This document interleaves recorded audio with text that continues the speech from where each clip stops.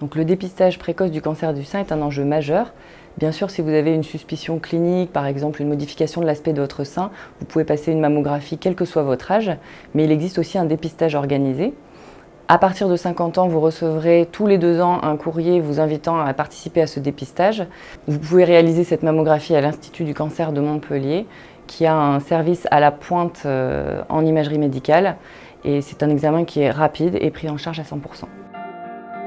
Vous vous présenterez le jour de votre rendez-vous pour réaliser votre mammographie. Une secrétaire à l'accueil récupérera vos informations administratives et vous informera du déroulé de l'examen. Vous serez rapidement appelé par un manipulateur radio qui vous conduira au vestiaire. Votre manipulateur vous accompagne pour réaliser votre mammographie. L'examen ne prend que quelques minutes.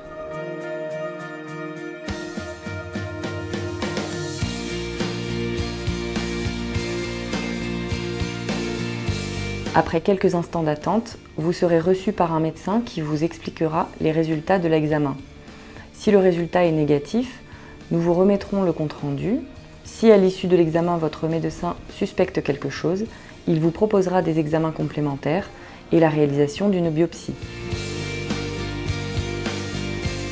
La biopsie, c'est un prélèvement de tissu mammaire qu'on envoie ensuite en analyse en anatomopathologie et en fonction des résultats, si c'est nécessaire, on vous orientera vers un chirurgien spécialisé.